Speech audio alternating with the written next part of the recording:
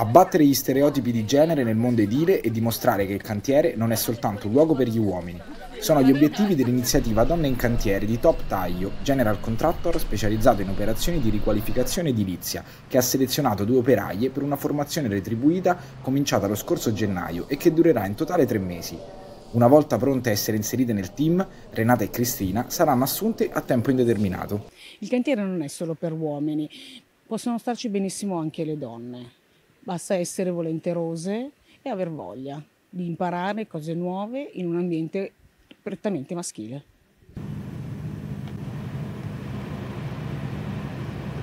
Ambiente prevalentemente maschile, però mi trovo molto bene con i miei colleghi. Ehm, all'inizio ero un po' timorosa, ma va tutto molto bene. Loro sono delle persone stupende, mi aiutano tanto eh, anche perché io non so fare niente, non arrivo da questo mondo e spero di imparare sempre di più e che questo possa diventare eh, la mia futura professione.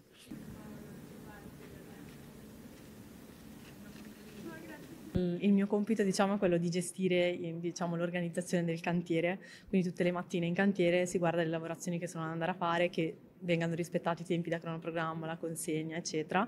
Diciamo che come mi trovo, non nascondo che comunque sia un ambiente eh, diciamo difficile, perché è un po' ossico per le donne, anche per eh, i, i, ragazzi in cantiere, vedere arrivare una donna diciamo, a gestire quelle che sono le lavorazioni sono sempre un po' prevenuti.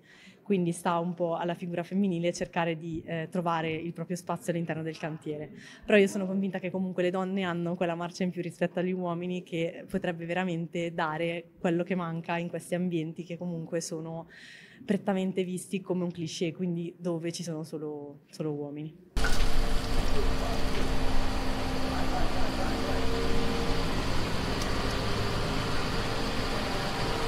Il nostro obiettivo e l'obiettivo di Top Taglio è quello di avere nel 2025 eh, 30 figure femminili all'interno dei cantieri.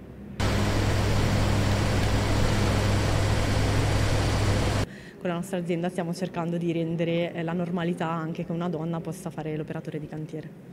Eh, l'iniziativa è sempre aperta e per eh, fare nuove esperienze, buttarsi in un nuovo mondo, eh, basta andare sul nostro sito o mandare una, ma una mail con il curriculum.